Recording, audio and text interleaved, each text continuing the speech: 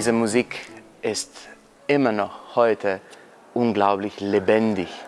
Und wir haben so, so viel äh, darüber gearbeitet, um diese Musik noch lebendiger zu machen und euch zu bringen.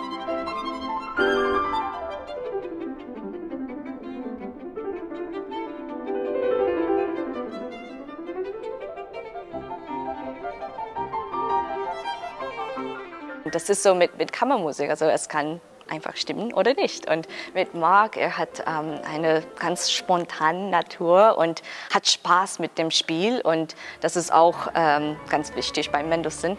Und ähm, ja, mit Basel Kammerorchester, ich könnte wirklich keine bessere Kombination finden. Also mit Dirigent Howard Griffiths, mit Mark Buschkow und die Basler Kammerorchester. Das war nur, kann ich sagen, eine wahre Wohne.